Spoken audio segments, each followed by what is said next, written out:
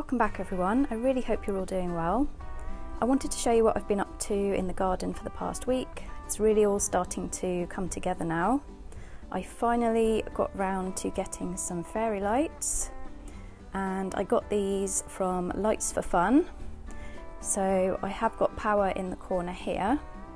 So they run up the wall and just along the edge of the pergola.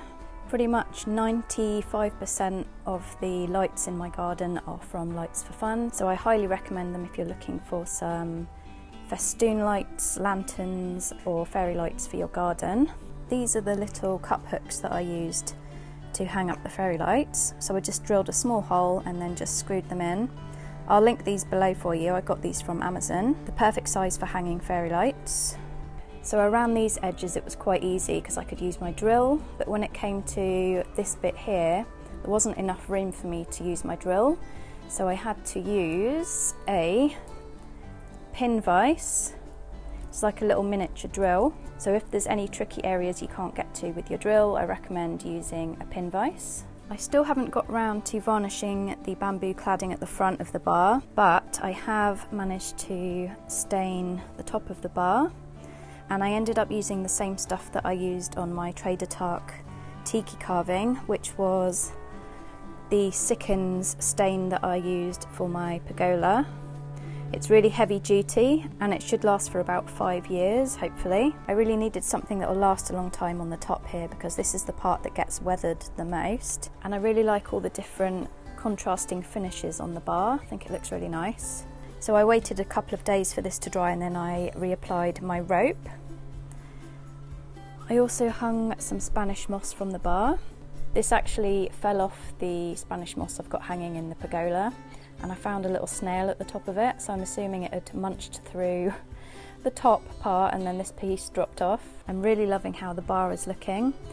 I do have a couple of things that I wanted to add in there that I'm still waiting for. One of the things I ordered quite a while ago from Etsy in the US, but I'll show you that when it arrives, hopefully before the end of the summer, before I have to pack up the bar. The weather's been really gloomy and quite cold. I'm actually wearing leggings and a jumper today, so that's how uh, cold it is.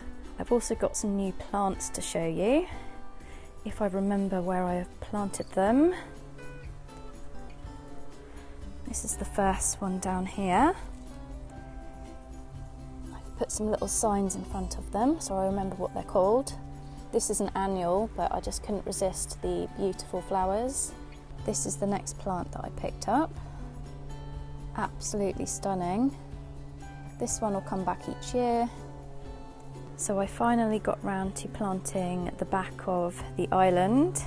It still needs to fill out a bit, but it's looking much better.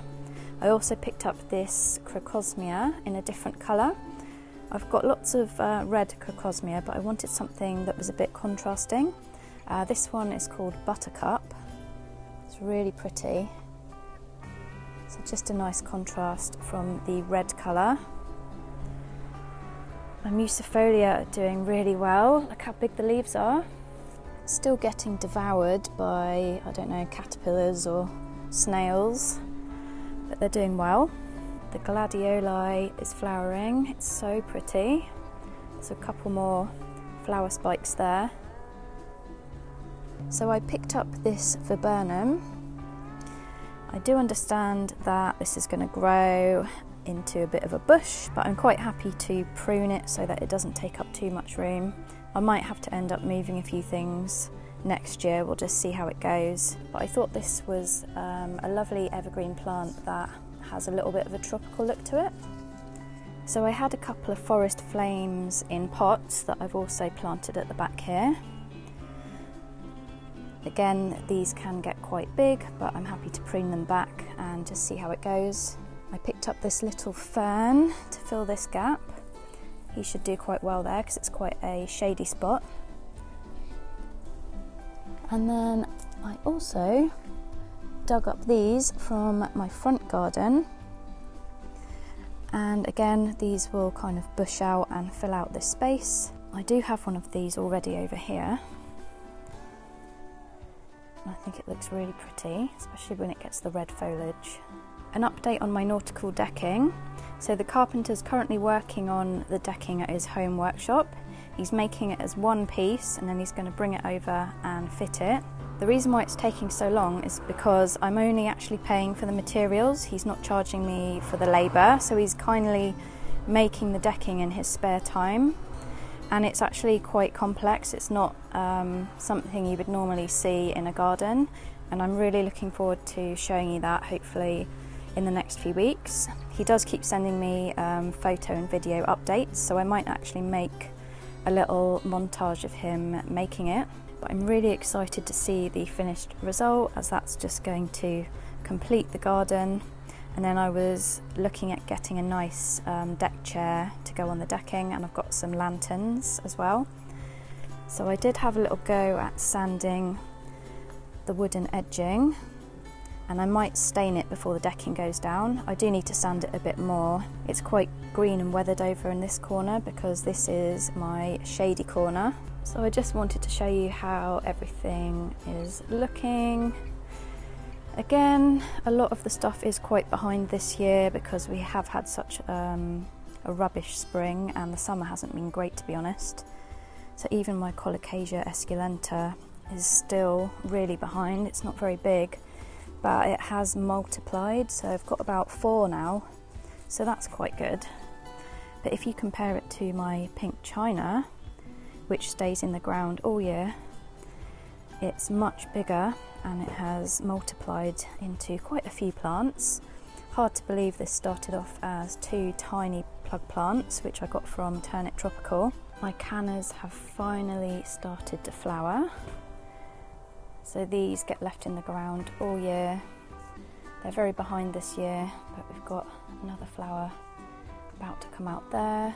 This is one of my favourite cannas, the Cleopatra. It's got beautiful red and yellow flowers. If you're looking to follow some other tropical gardening YouTubers, I'll attach them on the screen for you.